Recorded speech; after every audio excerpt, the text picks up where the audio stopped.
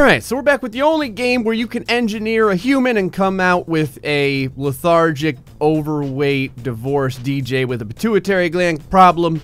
It's species. In the last episode, we managed to evolve Donald Trump in like the fifth year of the generation. I think that was a pretty good advancement in human civilization as it pertains to their inevitable extinction on the tiny continent of Florida that we had made. But someone asked in the comment section, hey Gray, could you genetically engineer a dinosaur? Uh, yeah.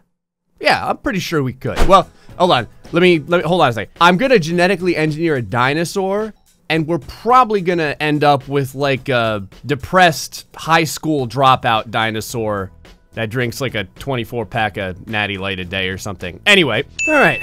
Uh, I guess today's genetic mutations are going to take place on this oversized piece of Cinnamon Toast Crunch. Let's go ahead and do it. First things first, I only need a couple of you guys, so uh, everyone else is getting the axe. All right, now we need a volunteer for someone's genetics to scramble around with. It's not really a choice. It's kind of like American Airlines style. Like you're either gonna do it or we'll beat you until you consent. So you're gonna be it. Alrighty, a dinosaur. This is what we're starting with. Again, I keep trying to find a way to describe this, but it's basically like like a brown apple mating with a brown wiggling loaf of bread. What do we got here that looks pretty dinosaur-like? That's not too bad. Actually, that looks really, really picklish. Okay. It's kind of like a dinosaur with a comb over. That looks pretty classically scaled. Actually looks more like a friggin' alligator. Actually, it looks more like a like an alligator pair of boots or something. We're gonna go with this. Looks pretty legit. It's time for Gray's favorite part of this. Pick the limb that won't give him nightmares for the next three months. Uh, let's see. I think we're gonna go for like a Tyrannosaurus Rex, Velociraptor. You know, like the dinosaur that stands on the two legs. I'm sure there's a scientific term for a dinosaur that walks on two legs. Theropods. It's like something that's that's less obvious than like a, a bipedal dinosaur, like something cool, like a two-legosaurus Achilles or something. These could absolutely be T-Rex limbs. I can already tell. We're gonna have to mess with them a little bit here. All right, the T-Rex doesn't get too many supplements. That's like as big as his arms get. All right, now where's like a good vicious clawed hand. I want more claws than that. More. That's not anywhere where I want. No, more. Crap. It doesn't really exist. Uh, yeah, let's go with that. All right, we need some kick-ass dinosaur legs. That is not... I mean... I guess he's in a prime position to get his ass kicked, but that's not... We want cool. We're looking for awesome. That is not it. Not gonna work. Okay, this could be all right. Congratulations, you're hired. Let's get those supplements on. Oh, don't you worry, our dinosaurs throwing down protein bars and shakes and all that stuff. Optimizes the creature's digestive system. Negative for herbivores, positive for carnivory. Yeah. All right, he's got to be a little bit slumped, right? Because the tail's gonna level level him out. Maybe even put him a little bit more forward, right like that. Yeah. Chest width, buff. I may have I may have went too far. Now it kind of looks like he's wearing a football pads or something. What happens if you make him like violently obese? I don't think that the game is meant to support stomach heights like this because it just it all it looks is like our little dinosaur's abdomen is putty and you're just peeling it apart. This is what happens when you don't feed your dinosaur a friggin' sandwich. Oh, with an enhanced hip height, you can give your dinosaur a giant ass. Um, let's go ahead and kind of chill that out a little bit. Maybe like right about there. All right, we got to give him a kick-ass neck. Doesn't have to be too long. All right, now it just looks like a pipe cleaner with like a like a grape at the end or something. Okay, this head actually looks pretty freaking cool. Look at the teeth on this thing too. Uh, this one could work as well. That mouth from the Predator? Kind of looks like the mouth from the Predator. Do it! Come on, kill me, I'm here! Y'all seen the Predator, right? All right, it's between this and the other one. This one looks more like dinosaur-esque but maybe I'll use the other one as well. Yeah, this head's amazing. We're using it. Why is his tail penduluming straight through his hip bone? I clicked on tail curvature, and I think we may have gone into an inappropriate place here. What the hell is this? It just looks like a boomerang that stabbed him in the spine. I didn't know this would happen. Hey, that is some really, really good flexibility. Aggression. Yes. Cowardice. No. Amorousness. yes. There you go. There's our dinosaur so far. Looks pretty freaking legit. All right, just gotta give him a name, export him, and we're set to go. Oh my god.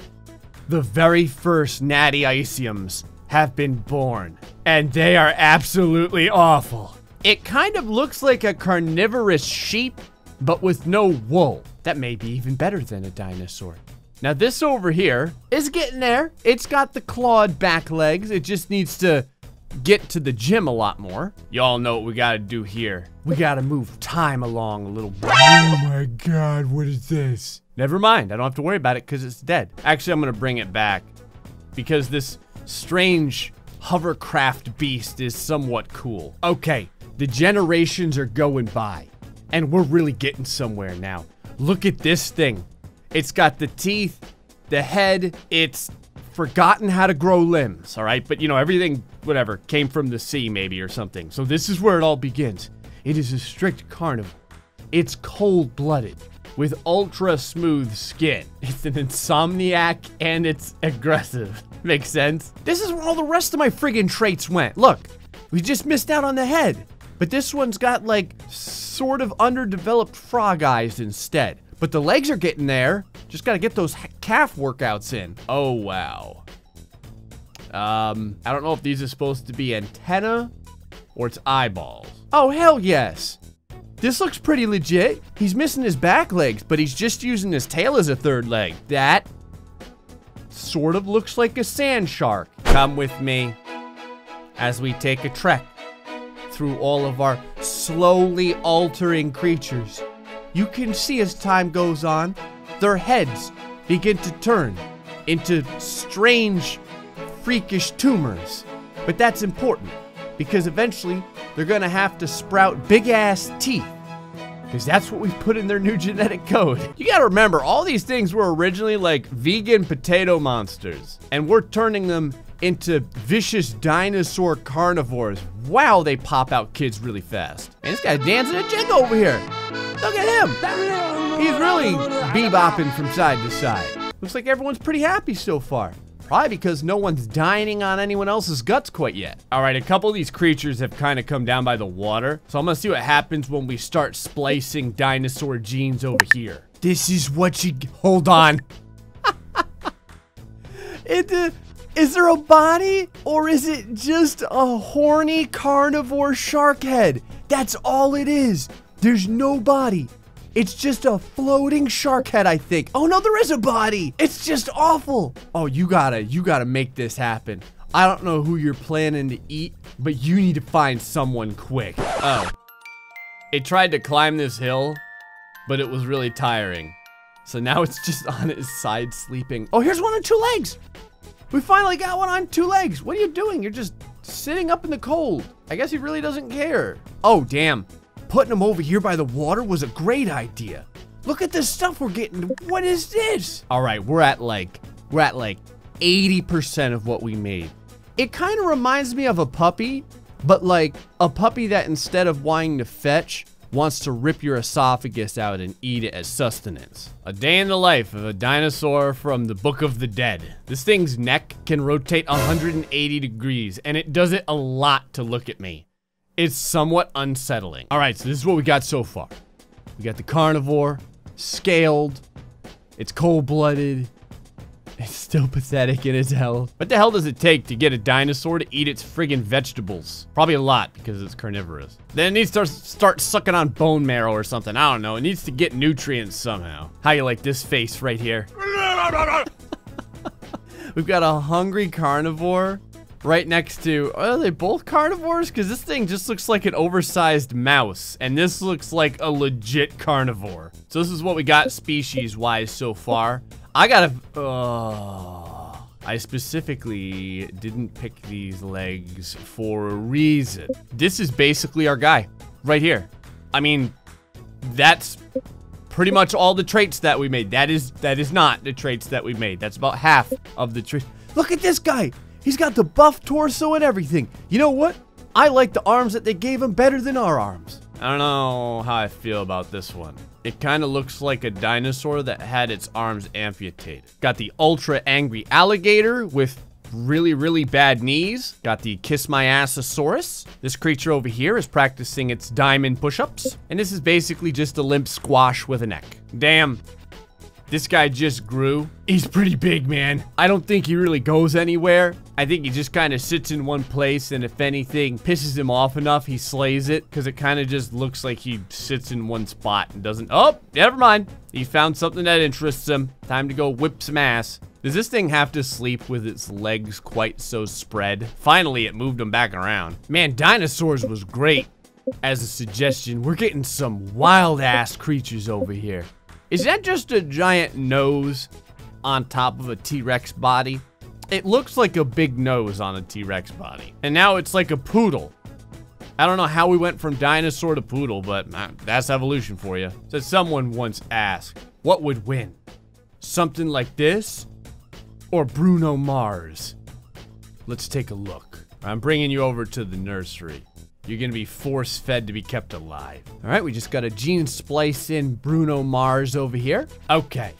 A member of the Bruno Mars clan has been formed. It just looks like a pig head with six legs, but I don't know, maybe it's tougher than it looks. Okay, we're gonna put it up against this thing here. It looks pretty vicious and dinosaur-y. All right, I brought in another Bruno Mars. The other one insta died. Well, Okay, get in there. You know you gotta fight for our amusement. Okay, sleeping dinosaur-esque thing. You're surrounded by Bruno Marses. How are you gonna freaking handle this? What are you gonna do?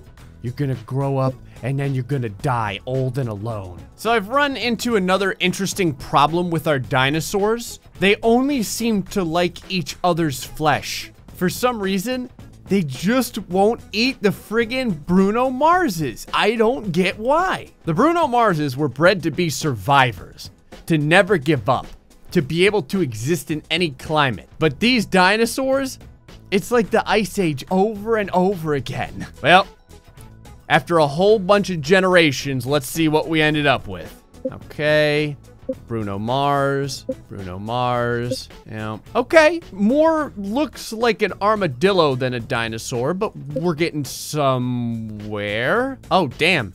It's like a, it's like a tiger shark mixed with like a real tiger. I don't know what this is.